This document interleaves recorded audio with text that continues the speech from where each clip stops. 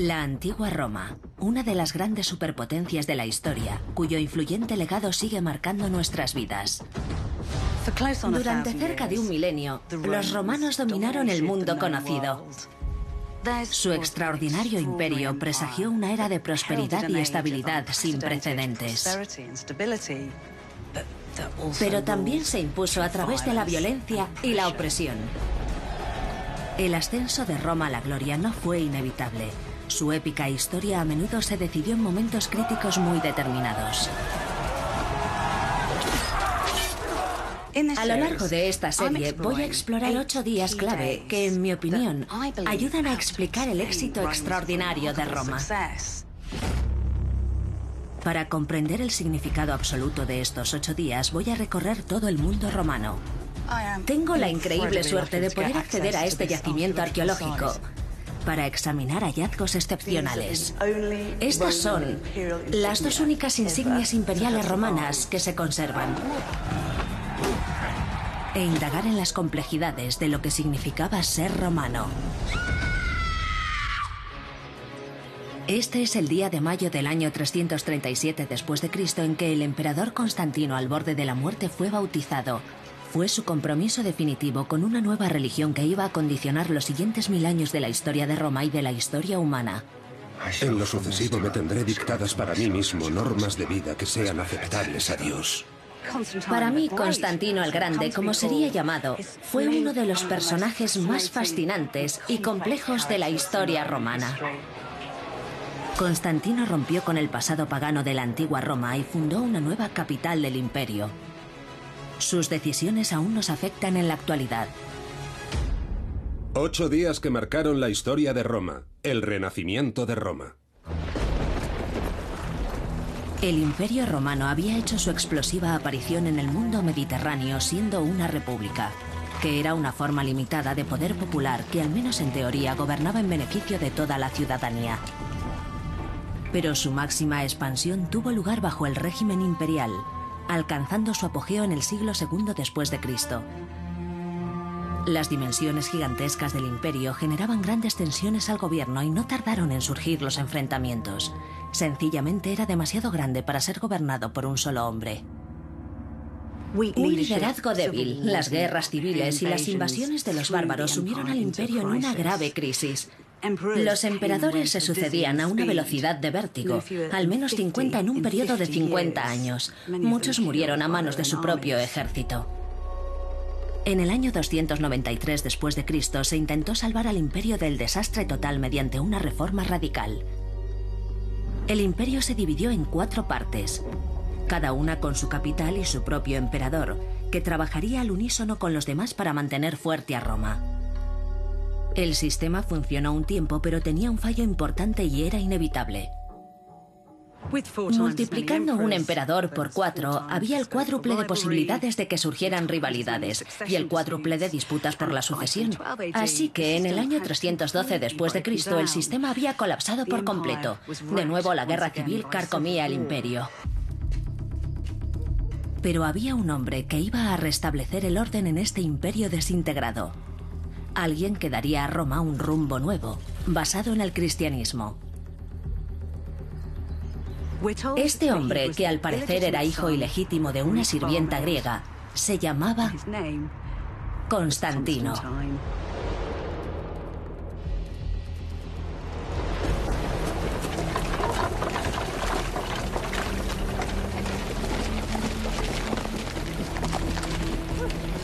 La transformación del Imperio Romano se gestó en el emblemático día final de la extraordinaria vida de Constantino. El anciano emperador viajaba hacia Oriente en una campaña militar cuando cayó gravemente enfermo. Todo lo sucedido aquel día fue documentado por su biógrafo, Eusebio de Cesarea, a partir de relatos de testigos.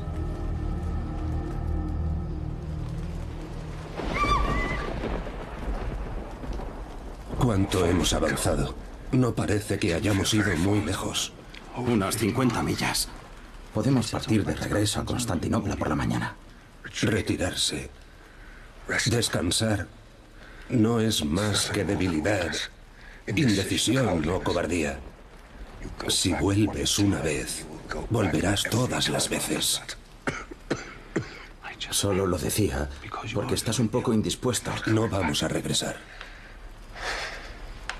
Eusebio nos cuenta que aquel día, mientras yacía moribundo, Constantino reflexionó sobre su vida, repasando sus extraordinarios logros y profundos arrepentimientos.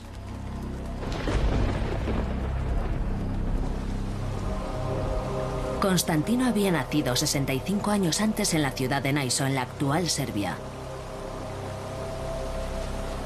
Aunque su madre fuera una humilde sirvienta, según nos cuentan, el padre de Constantino era un general romano que se había convertido en uno de los cuatro emperadores del imperio partido. A su muerte en una campaña militar en York, Constantino, que ya era general para entonces, fue proclamado sucesor por sus tropas y tomó el control de la sección noroccidental del imperio estableciendo su base en Treveris. Mientras tanto, hubo agitación en otras partes del imperio, cuando un general usurpó el poder en Roma. Se llamaba Magencio. Desde su base en Treveris, Constantino vio en esta situación de inestabilidad la ocasión de hacerse con el control de más territorios imperiales fracturados. Con el apoyo de sus tropas marchó hacia el sur, para enfrentarse al usurpador Magencio. La batalla decisiva tuvo lugar aquí, en un paso sobre el río Tíber, el puente Milvio, justo a las afueras de la ciudad. Fue un enfrentamiento crítico para la subida al poder de Constantino. Y un capítulo clave en la historia de su transformación espiritual. Una historia que culminaría con el renacimiento del Imperio de Roma.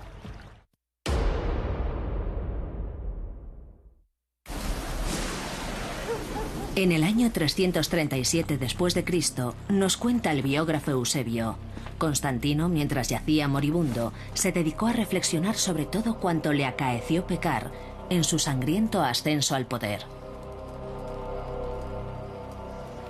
No está bien. Me temo que esta vez tiene a los hados en contra. Siempre he tenido a los hados en contra. 25 años antes, Constantino se había enfrentado al emperador Magencio en una batalla despiadada sobre el puente Milvio en las afueras de Roma.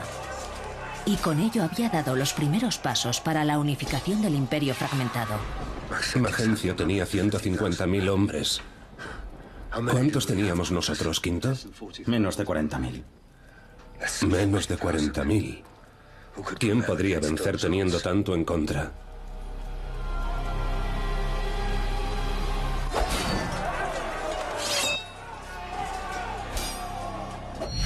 Recuerdo haber sacado mi espada del pecho de un hombre y haberle cortado la cabeza a otro. Me pregunto qué Dios le abandonó en aquel momento de necesidad. Mi caballería arrasó los flancos de su ejército, atropellando y masacrando todo lo que encontraba a su paso. Magencio y sus hombres, desconcertados por completo, empezaron a huir en todas direcciones. Yo tenía los ojos puestos en él, pero salió huyendo hacia la ciudad. Cuando iba cruzando el puente, este se derrumbó con el peso de tantos soldados en retirada. Al ver a Magencio flotando en el agua, no me sentí vencedor en absoluto. Tal vez fuera por la cantidad de soldados ahogados junto a él. Tantas familias habían perdido un padre, un hermano, un hijo. Constantino no había tenido piedad. Tras su gran victoria entró cabalgando en Roma, con la cabeza de Magencio clavada en una lanza. Con su demoledor triunfo en el puente Milvio, ahora era el único gobernante de la mitad occidental del imperio. El gran premio era suyo, Roma. En las guerras civiles de esta época, era habitual que los vencedores levantaran monumentos conmemorativos de su triunfo en Roma. Ahora Constantino iba a demostrar que él estaba al mando. Y así es como lo hizo.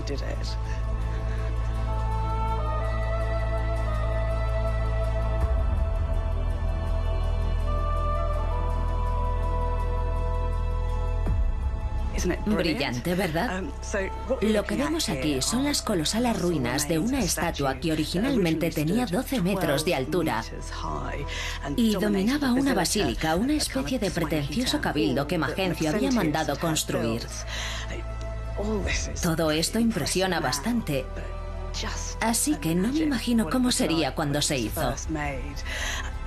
Me encanta porque es como una gran maniobra de relaciones públicas en 3D, con la que Constantino estaba diciendo, ahora mando yo en Roma.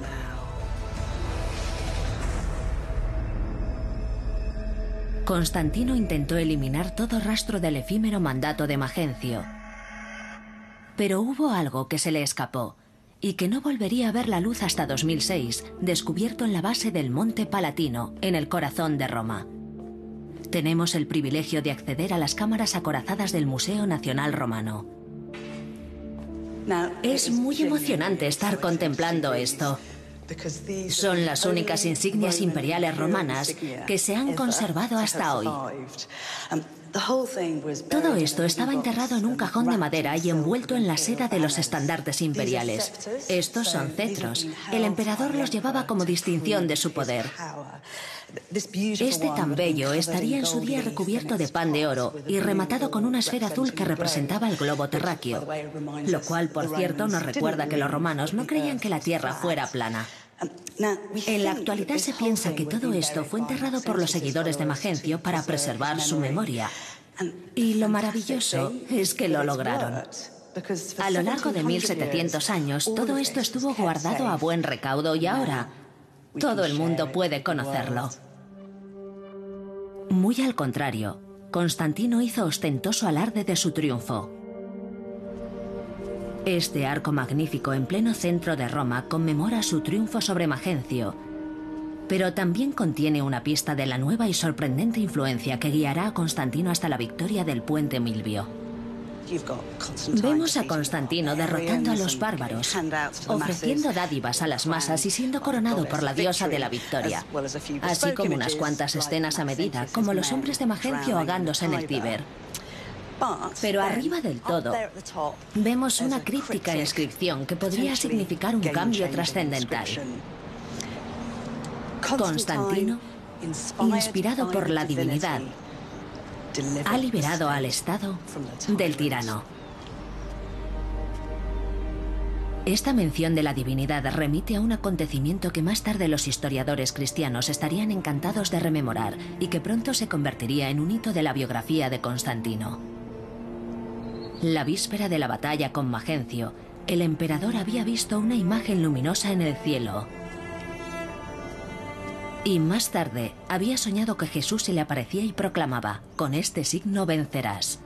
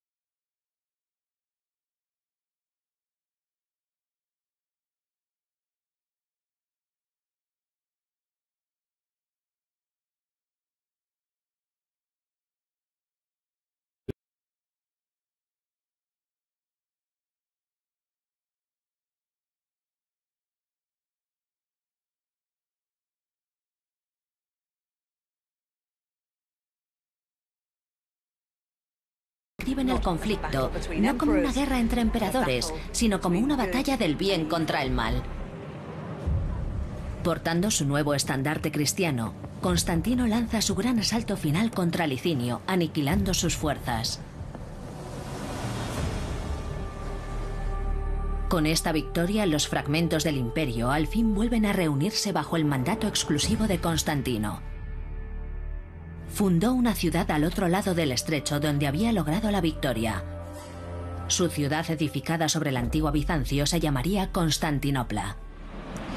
La idea de Roma parecía recuperarse. Un imperio, un emperador y un líder bendecido por la fortuna en la guerra. Pero Constantino tenía un objetivo. Debía lograr algo que no había conseguido ningún emperador en un siglo de historia. Dar paz y estabilidad a su pueblo, sabiendo conservar el poder. Con el fin de preservar su imperio recién restaurado para las futuras generaciones, Constantino planeaba consolidar su poder a través de su familia, encabezada por su hijo mayor, Crispo. Pero el sueño de una nueva dinastía imperial pronto degeneraría en una pesadilla que iba a atormentarle hasta el día de su muerte. ¿Realmente merezco el perdón?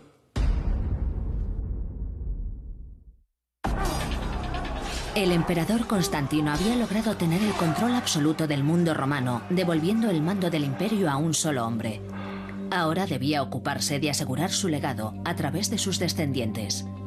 Aquí en los Países Bajos, en el Museo de Antigüedades de Leiden, se conserva una pieza que demuestra hasta qué punto el emperador intentaba restablecer el antiguo sistema romano de la sucesión hereditaria al trono. Constantino dio a su familia un lugar preeminente en la vida política. Este camafeo, magníficamente tallado, parece señalar la importancia de cuatro miembros clave de la familia del emperador. Aquí tenemos a Constantino, en el centro, con su madre Helena al fondo. Esta de aquí es Fausta, su esposa, y este es su hijo mayor, Crispo, de su primera esposa. Está repleto de pistas y es muy interesante porque para empezar ya el hecho de que aparezcan retratadas las dos mujeres aquí es muy poco habitual, como lo es que Constantino y Fausta se estén mirando mutuamente con reverencia. Puedo asegurarles que es algo muy raro de ver en los retratos imperiales oficiales.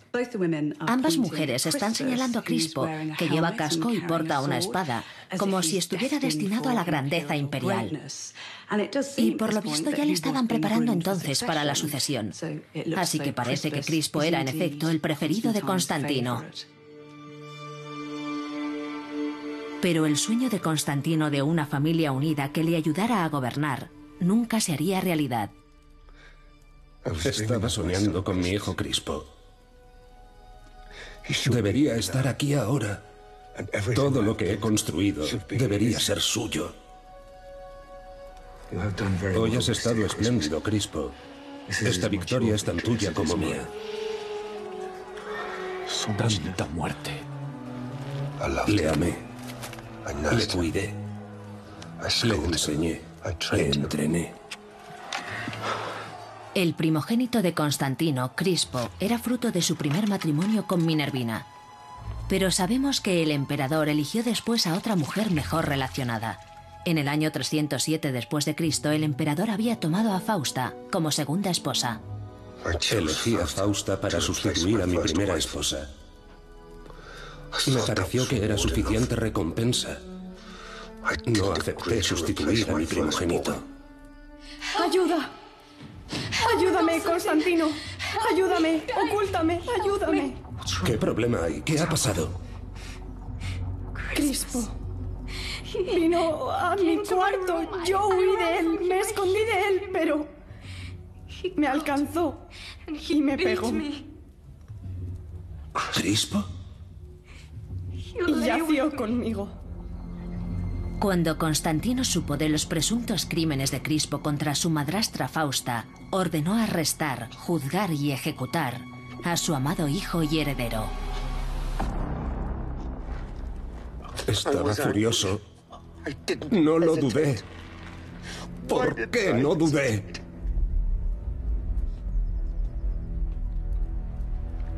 Ya está hecho.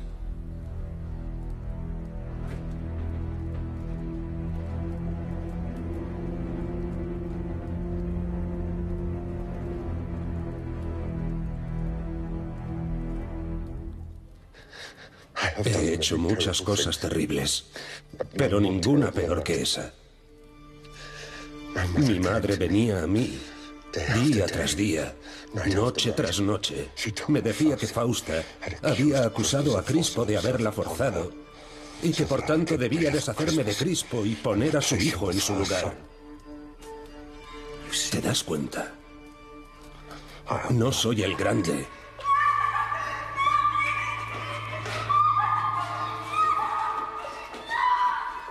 Soy un estúpido. El títere de una mujer. Todos somos imperfectos. La ira de Constantino se volvió contra la mujer que aparentemente le había engañado.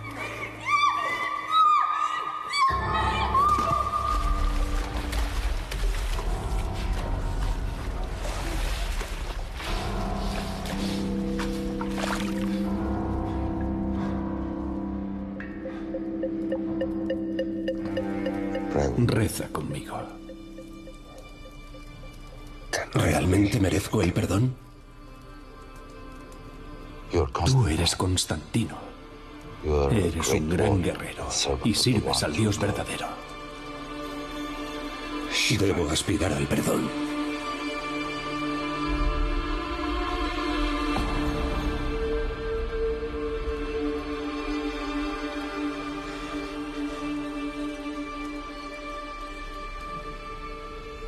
Esta historia nos llega a través del historiador romano Zósimo, quien, aunque escribió 200 años después de los hechos, tuvo acceso a textos anteriores. Incluso visto desde tanta distancia, resulta horripilante. Aparentemente Constantino había aniquilado todo aquello que amaba. Y sabemos que nunca volvió a casarse. Un dato muy revelador, insólito en un emperador. Las muertes de la esposa y el hijo de Constantino habían malogrado sus planes de fundar una dinastía. Así que se centró en un proyecto que iba a condicionar la dinámica del mundo conocido.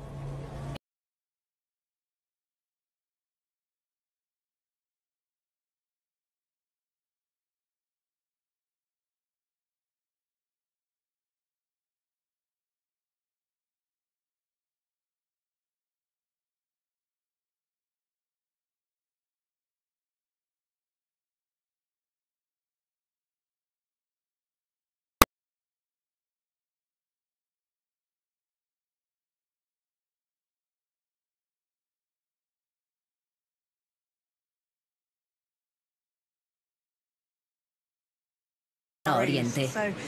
Caminar por aquí es un poco como retroceder en el tiempo. Solo cuatro años después de las muertes de su esposa y su hijo, Constantino se instaló definitivamente en la ciudad que llevaba su nombre. Honró su condición de capital del imperio con proyectos de construcción que combinaban imágenes paganas y cristianas, de las que aún se conserva algún vestigio. Este monumento me gusta mucho, a pesar de lo deteriorado que está en la actualidad. Y es un tenaz superviviente después de 1700 años de historia. En su época de esplendor tuvo que ser impresionante, desde luego. Originalmente esa columna morada medía más de 50 metros y estaba rematada con una imagen de Constantino como el gran dios Sol, el dios Apolo, tocado con una corona dorada. Todo esto es muy interesante porque junto a las imágenes paganas también hay un montón de elementos cristianos. En el remate de la columna pusieron los clavos de Cristo en la cruz. Y por si esto fuera poco, nos cuentan que debajo estaba enterrada el hacha original con la que Noé había construido el arca.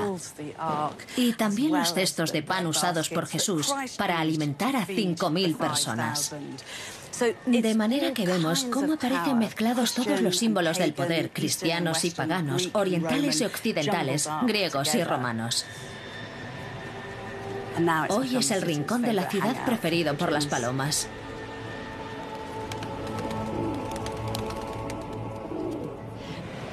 Constantinopla se vanagloriaba de tener lo mejor de Roma. Lo que estoy recorriendo ahora era una pista de carreras de carros que rivalizaba con el circo máximo de Roma. Había un senado, repleto de senadores togados, un palacio imperial, y se animaba a romanos influyentes de toda índole, incluidos nuevos ricos y jóvenes herederos, a trasladar aquí su residencia con la promesa de recibir villas y comida gratis. De hecho, este lugar se daría en llamar la Segunda Roma o la Nueva Roma. En las orillas del Bósforo se están descubriendo todavía los secretos de la transformación de la Nueva Roma que sucedieron al mandato de Constantino, ocultos bajo la moderna ciudad de Estambul. Debajo de un restaurante local hay un lugar descubierto hace muy poco, que sería el corazón palpitante del mando imperial de Constantinopla. Estambul se ha construido como una especie de tarta de capas históricas y por tanto aún queda mucho de la ciudad romana en el subsuelo. Es un privilegio enorme estar aquí. Nunca había podido bajar a este lugar. Sabemos que Constantino el Grande hizo construir un bello palacio imperial al que llamó Palacio Sagrado y que en él vivieron los emperadores durante siglos. Esto es lo que queda de él. Pensamos que este lugar donde me encuentro ahora mismo era la sala de audiencias, a donde vendría la florinata de todo el imperio a presentar sus respetos a la nueva Roma. Alentado por el número creciente de súbditos cristianos, Constantino estaba cada vez más seguro de su elección religiosa y situó el cristianismo en el centro de la vida romana. En Roma era habitual que las iglesias se edificaran en los límites de la ciudad, pero en Constantinopla estaban en pleno centro.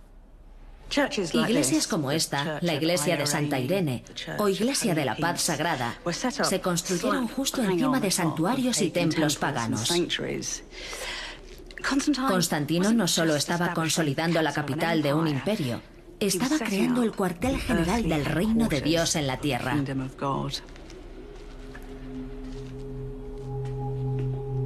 El mensaje diseminado desde esta ciudad se convertiría en el legado de uno de los emperadores más grandes de la historia de Roma.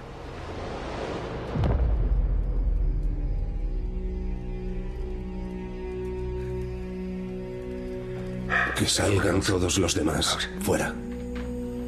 El compromiso contraído por Constantino en el umbral de la muerte actuaría como un catalizador del renacimiento del Imperio Romano. Se me acaba el tiempo. Puedo notarlo. Constantino se levantó de su lecho de muerte en las afueras de Nicomedia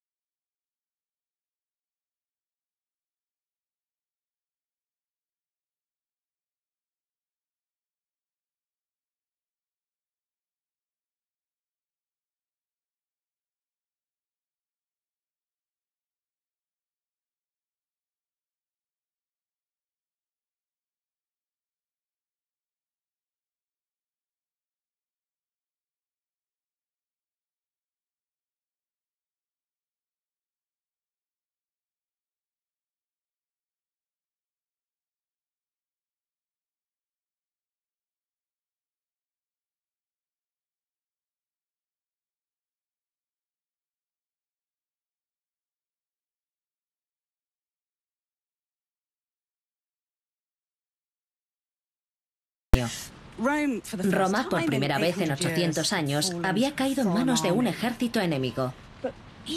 Pero aunque algunos autores dijeran que era el fin del mundo, no lo fue. Ni siquiera fue el fin del Imperio Romano. Constantinopla, la nueva Roma en Oriente, representa a la perfección la habilidad de Roma para adaptarse y salir adelante.